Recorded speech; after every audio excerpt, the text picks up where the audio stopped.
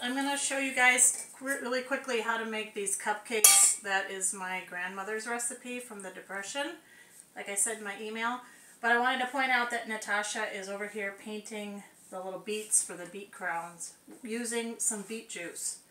So it's just pouring some of that water out from the can and simply using it as a paint and then letting it dry. Thanks, Natasha. So this recipe is super easy. You want to sift it though. The easiest way I find to sift is to just use a little colander and do it right into the bowl. One and a half cups of all-purpose flour and one cup of sugar. Shake it till it sifts and your child can help with this. If they keep it low and in the bowl, they can do the sifting and the measuring. One cup of sugar, a third of a cup of unsweetened cocoa powder, and one teaspoon of baking soda, and a half a teaspoon of, and that also gets sifted, and a half a teaspoon of salt.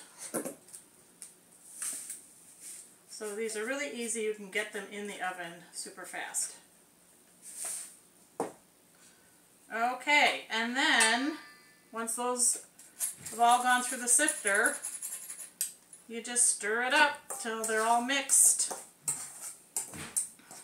Then you're going to pour your wet ingredients into the dry. So I've already taken the juice from the beet can and added it to my liquid measuring cup along with the half a cup of canola. So you want, the original recipe is one cup of cold water. So you can either replace all of the water with the beet juice or half of it.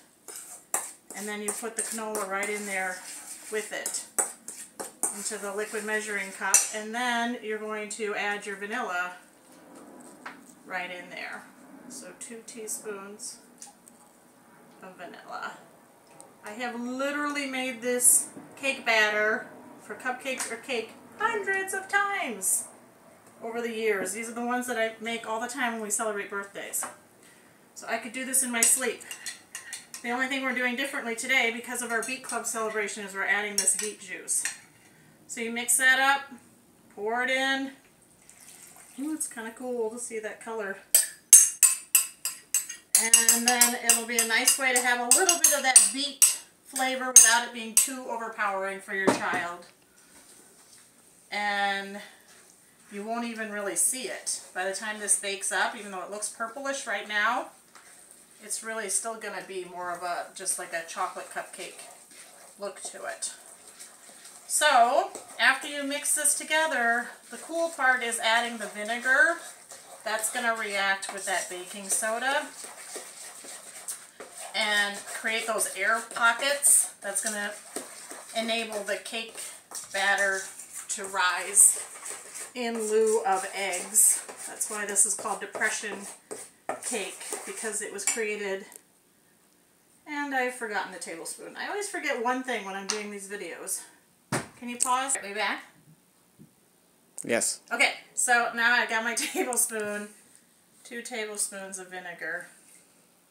And that's going to have that chemical reaction with the baking soda and make it fizz and react. I mean, not super, but just a little bit. You can see it just kind of making that fizzy lookingness in that batter. And you want to just kind of keep stirring until that fizziness has gone down. And then that's it. It's ready to go. You pour it in your cupcake papers and you bake at 375 for 25 minutes. Oh, and then this reminds me, so when your child is done decorating it, however they choose to do so, and it's on there, you're going to want to extend, this will be too small, you're going to want to extend this crown for your child, for it to wrap around their head. Anyway, side note there.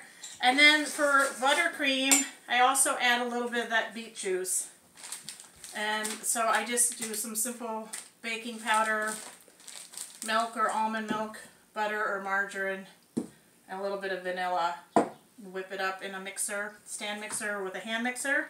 You got your buttercream, and you can take a little bit of that beet juice from the can,